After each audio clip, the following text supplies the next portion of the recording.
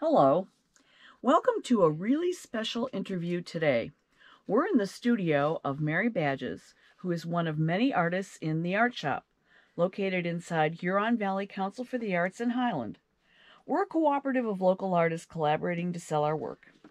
Our videographer is Mary Neff, and my name is Karen Wojcik. Well, Mary Bajcz, thank you for inviting us into your studio, uh, your special place where the magic happens. I was going to say this is my happy place. And, and I know a lot of people would be not able to work with so much stuff around, but it works for me because I like to see the juxtaposition of materials next to each other. And I've been interested in sewing since since seventh grade home ec class. I was wow. always quite the little fashionista, and so I loved sewing clothes. And then, and then in 1976, I joined the big quilting revival. Then, so I've been making quilts since then, and I love making quilts. I like making things that are both beautiful and useful. Although, so, so you intend for them to be functional, not strictly art quilts. Well, I do make art quilts too, but I like they're different they're different animals. So yes. I like to think of actually a quilt as art for your bed that it doesn't Yes. Anyway, so um yeah, and the other thing that um you were talking about scraps earlier. Oh yeah, we, so we got on camera. Yes. When, when you look around my room, you will see there are baskets and boxes full of scraps, and and although I have bought some of this fabric, honestly, a lot of it has been given to me. It seems like everywhere I go, people hand me bags of fiber because they know I sew. Yes. And I also I also make mittens for Mittens for Detroit, and so oh. I also get handed lots of sweaters because I make mittens out of sweaters. Okay. And so you deconstruct I, the sweaters and, yeah. and and repurpose yes, the yarn. I, I make the mittens. I make first I make adult mittens, then I make child mittens, and then I use all the scraps to hook rugs. Okay. So I'm using up all of these luscious fibers. And you you really have some very high quality uh, scraps in your work, and these are mostly given to you. Yes, I mean a lot of this designer um, decorator fabric. When you look at the label, it's like a hundred dollars a yard and up. Oh my goodness! I mean, it's really really good fabric, and um, I did, did want to. Oh, I, I did want to say, and so when people give me things like that, yes. I have felt for like the last 30 years that my mission in life is to use up scraps uh-huh. and to uh-huh. make good things with scraps. And and that's why I take almost some things I take and pass on to other groups, like because I belong to two charity quilt groups too. So some of that stuff gets passed on, uh-huh.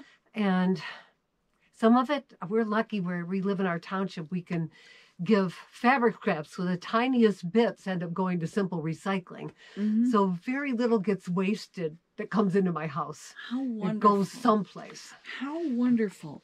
Are there certain techniques that were you going to ask something, Mary? Well, I was going to ask, are you a teacher, Mary? You... Um, yeah, until the pandemic, I Thank you, Mary, for asking that. Until the pandemic, I was teaching a lot in person. And about 22 years ago, I developed a technique I call free cut piecing. And I think of it as drawing with your rotary cutter. So, what I do is stack up usually six pieces of fabric. I slice shapes through the stack and then mix and match the pieces in that stack and then sew them back together again. And um, huh. And I so when I couldn't teach in person anymore, I started a YouTube channel. So if you're interested in learning about free cut piecing, they're all up on my YouTube YouTube channel that's called Scrap Happiness Studio. And it's all one word. Scrap Happiness. If you Google Studio. on my name, it'll come up too. Okay. Wonderful. Wonderful. So that's a technique that you developed. How interesting. I mean, based on other people's work, but yes. It, and the way I developed it was very serendipitous because I was really under pressure to develop a class for my first time teaching gig. And it was really stressful, and I was using silks, and it mm. works great with silk. Oh, so I've made a lot of piece silk jackets oh, with that. And then I, while I was teaching the silk jacket class, I said, "Man, these are quilt blocks And, and so I just jumped on from there. And you were off to the races. And I felt like I'd found my artistic voice. It's so natural to me. I'm not a perfectionist in any way. I mean, my quilts are not going to fall apart, but if stuff doesn't match and if stuff's a little off kilter, I'm fine with that. yeah. No, that's the. I think that's your artistry. Yeah, and it, that works and, and that's also your signature. I, I people can look at a piece that you've done and say, "Oh, Mary Bajcz made that." Do you think that's I true, hope Mary? not just because it's off kilter. No, no, no, no, no. It's the artistry. I think it's the artistry. Yes. I I love yeah, a lot of people plan out their work to begin with. I I might have a tiny germ of an idea when I get started, yes. but then I just start sewing or painting or whatever and hope that something good happens. Uh-huh. And I'm watching for something good to happen and I do more of that. Huh. So Wonderful. I like working that way. It's like I, I'm constantly being surprised by what's happening under my needle, and Uh-huh. I'm rarely bored. And a lot of time you hear people complaining about the boring parts of quilting. I don't have any of those. Uh-huh. Everything I do, maybe basting a quilt is not that much fun, but it only takes like an hour. Yeah. So Yeah. I can I can live with that. Thank you. Thank you for sharing your special space and your time with us. And Mary's work is available for sale in the art shop. You'll find Mary and a variety of other local artists. We offer items at a wide variety of price points. Information about the shop is on the website at huronvalleyarts.org. And while you're at the website, check out the Steeple Hall Gallery exhibits. Currently, we are featuring art quilts by Katie McGrath and Katherine Schmidt, and the title is The Power of Black and White.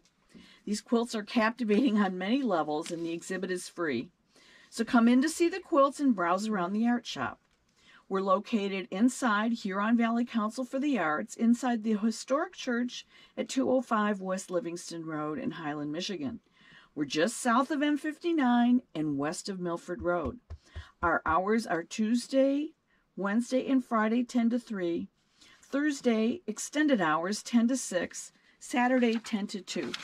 And you can find news about the art shop on HVCA's Instagram account at Huron Valley Arts. We are open when the sign is out uh, on the yellow sign at the corner of Milford and Livingston Roads. At present, we're accepting applications from artists who would like to join the art shop.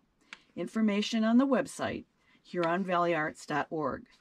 Next up will be Handmade for the Holidays. This is a special exhibit in the Steeple Hall Gallery and featuring unique handmade gifts for everyone on your list. This will run from December 25th through December 23rd. So we hope you had fun. Watch for more artist studio interviews coming up. Thank you for joining us and supporting local artists.